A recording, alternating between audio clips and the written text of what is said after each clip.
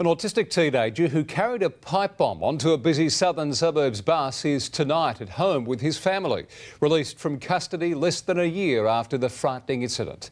The judge suspending the teen's sentence, believing he'd never wanted to cause harm and had built the device to impress his friends. Flanked by his parents, the teenager walks free from court. After spending almost a year behind bars, tonight he's back home. Oh, yes, of course, yes.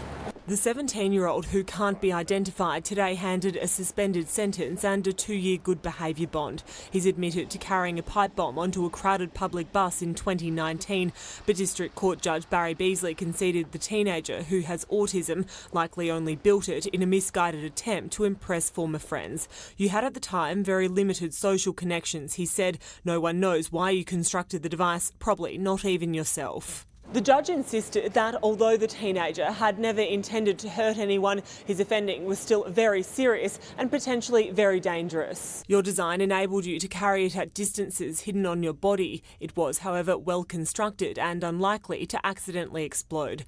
Judge Beasley urging the boy to forget his former friends and focus on the future, encouraging the teen to now put his intelligence towards good use.